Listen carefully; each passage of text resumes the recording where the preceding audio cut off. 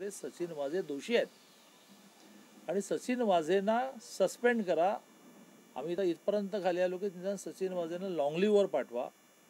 आम्ही इथपर्यंत खाली आलो की सचिन वाझेंकडून तो चार्ज काढून घ्या. क्राईमचे इन्चार्ज म्हणून चार्ज काढून घ्या. परंतु जसे काही अनेक पारितोषिकं मिळवलेले पोलीस अधिकारी या आविर्भावामध्ये नऊ वेळेला विधानसभेचं अधिवेशन स्थगित झालं. तरीसुद्धा सरकारने पहिल्या दिवशी वाझेंवर कारवाई करायला नकार दिला. एवढे हे सरकारचे जावई. दुसऱ्या दिवशी जेव्हा लक्षात आलं की सदन चालणार नाही त्यावेळेला सदन चालावं म्हणून त्यांनी त्यांच्यावर कारवाई काय केली? तर सस्पेन्शन नाही केलं. लॉंग लिव्हर नाही पाठवलं. तर त्यांचा चार्ज काढून घेतला. सगळ्यात हद म्हणजे अधिवेशन संपल्यानंतरच्या प्रेस कॉन्फरन्समध्ये माननीय मुख्यमंत्री महोदय असं म्हणतात की वाजे काय लादे नाही का? मग आता कळेल ना लादे नाही का लादेंचा बाप आहे तो. कशासाठी प्रोटेक्शन आणि म्हणून दिल्लीमध्ये झालेल्या आत्ताच्या प्रेस कॉन्फरन्समध्ये मान्य देवेंद्रजीने हा इशारा दिलेला आहे. हे इंगित केलेलं आहे हे दिशादर्शन केलेलं आहे की वाजे हा एक साधा माणूस आहे. त्याच्यामागे मोठी राजकीय शक्ती आहे ना? त्याशिवाय तुम्ही त्याला इतका दिवस कसं काय प्रोटेक्ट केला? मग आधी वाझेला प्रोटेक्ट केलं. मग मुंबईचे आयुक्त परमवीर सिंगांना प्रोटेक्ट केलं. दोन दिवस घोळ चाललाय. एवढा वेळ लागतो निर्णय करायला? महाराष्ट्रातली आणि प्रामुख्याने मुंबईतली जनता भयभीत झालेली आहे. याच्या आधी राज्याचे डी जी सुबोध जायस्वालांनी नाराज होऊन केंद्रामध्ये परत जाणं प्रेफर केलं पसंती दिली त्यांनी की नाही मला महाराष्ट्रात राहायचं नाही. कुठल्या विषयावर?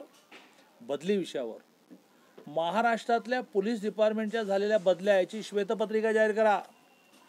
कोणाच्या बदल्या झाल्या? किती दिवसात बदल्या झाल्या? एक टॉपचा ऑफिसर अतिशय चांगला. जेव्हा त्यांना मी म्हटलं की तुमची एवढं लांब का बदली झाली? ते म्हणाले माझ्याकडे बोली बोलायला पैसे नव्हते. मी नाही बोलत.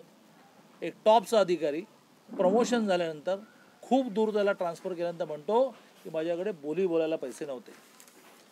जायस्वाल गेले नागराळे आले. आज मुंबईचा कमिशनर म्हणून नागराळे मुंबईच्या कमिशनरला आले. आम्ही वर जाणं मा पाहिलेलं आहे खाली येणं नाही पाहिलेलं आहे. बट्ट्या बोळ सत्यानाश आपल्याला हवं तशी सत्ता राबवणे. डी जी मुंबईचे कमिशनर. मग एक नवीन कमिशनर. आणि त्यामुळे आत्ता देवेंद्रजींनी दिल्लीमध्ये जो आरोप केला तो बरोबर आहे की परमवीर सिंगांना ट्रान्सफर करून वाजेना आता पर्याय नाही. कारण चोवीस तास जेलमध्ये राहिल्यानंतर सस्पेंड करावं लागतं. सस्पेंड करून हा विषय संपणारा नाही आहे या सगळ्यामध्ये ज्या राजकीय शक्ती काम करत आहेत कोण खात चालवतंय गृह खातं? चला अनिल देशमुख चालवतात ना? मग अनिल देशमुखांनी जबाबदारी घ्यावी ना? की महाराष्ट्रामध्ये रोज चार महिलांवर किमान अन्याय अत्याचार होत आहेत त्यातल्या मुखबधीर महिला आहेत. इकडे तुमच्या मंत्रिमंडळातल्या एका मंत्र्याचा पूजा चव्हाण हत्येशी संबंध जोडला गेला त्यांना राजीनामा द्यावा लागला. दुसरे मंत्री तुमचे जाहीर घोषित करतात की म्हणजे पंधरा वर्षे लिव्ह इन रिलेशनमध्ये माझ्यापासून एका महिलेला दोन मुलं झाली. त्याचा ॲफिडेव्हिटमध्ये उल्लेख नाही. कोणीतरी तुमची मंत्री एका अधिकाऱ्या पोलीस पोलीस कॉन्स्टेबलला मारण्यामध्ये तिला तीन महिन्याची शिक्षा होते. मग ती अपिलात जाते आणि अपिलामध्ये स्टे मिळाला म्हणून राहते. कोणातरी तुमच्या एका मंत्र्याचा जावई हा ड्रग्जमध्ये सापडतो. तुमच्या पक्षाचा राज्याचा युवा आघाडीचा अध्यक्ष बलात्कारात सापडतो. अजून त्याला अटक किती किती मोठी यादी सांगावी आणि त्यामुळे हे सगळं कशामध्ये येतं? गृह खात्याच्या अंडर येतं.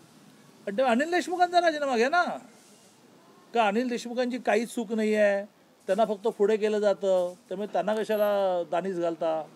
मग कोण पुढे घालतं ते मा मागे बसणारे ते पुढे आणा. आणि त्यामुळे मी आज ही मागणी करतो की संपूर्ण महाराष्ट्र असुरक्षित केला आहे तुम्ही. मुंबई पोलिसांवर महाराष्ट्र पोलिसांवर आमचा अविश्वास नाही आहे परंतु हे जेव्हा पोलीस डिपार्टमेंटमधून बाहेर पडतं की एक पोलीस अधिकारी स्फोटक ठेवण्यामध्ये सापडतो. त्याच्या गाडीमध्ये नोटा मोजण्याचं मशीन सापडतं. पाच लाखाची कॅश सापडते. पी पी किट घालून तोच इनोवा चालवतो चालवतो असं सिद्ध होतो. तो त्याच्या जबानीमध्ये सरकारमधल्या अनेकांची नावं घेतो. लोक म्हणाले की कसला कायदा सुव्यवस्था राहिले? पूर्ण असुरक्षित झालो आम्ही मुंबईमध्ये महाराष्ट्रामध्ये. आणि त्यामुळे गृहमंत्र्यांनी राजीनामा दिला पाहिजे. आणि हे सगळं चालवणारे जे कोणी आहेत ना त्या चालवणाऱ्यांनी हिंमत असेल तर पुढे आलं पाहिजे. एक मला म्हण म्हणजे खूप दिवस मी म्हणत नव्हतो परंतु आज म्हणायला लागेल. खरं म्हणजे संजय राऊतांना तुम्ही गृहमंत्री किंवा महाराष्ट्राचं मुख्यमंत्री केलं पाहिजे. कारण मंत्रिमंडळातलं कोणीच बोलत नाही. दिवसातून दहा वेळा संजय राऊतच बोलतात. मग बेटर वे त्यांनाच करून टाका ना. ते म्हणतात की वाझे एक अत्यंत अत्यंत चांगले अधिकारी. ते असं म्हणतात की चांगले अधिकारी अधिकाऱ्यांना तुम्ही फासावर चढवताय. ते असं म्हणतात की तुमच्या अशा चांगल्या अधिकाऱ्यांवर आरोप करण्याने पोलीस यंत्रणा खळखळी होणार नाही. म्हणजे हे गृहमंत्री आहेत ना. ते होमच्या वतीने प्रेस ब्रीफ करतायत. हू आर यू तुम्ही तर राज्यसभेचे एक खासदार आहात. शिवसेनेचे प्रवक्ते आहात. सरकारचा तुमचा काय संबंध? माननीय उद्धवजींनी आता अतिशय धाडसी कोणाची काळजी न करता स्टेटमेंट करणारे कोण आहे या समोर असं म्हणणाऱ्या संजय राऊतनंच महाराष्ट्राचे गृहमंत्री करून टाकले.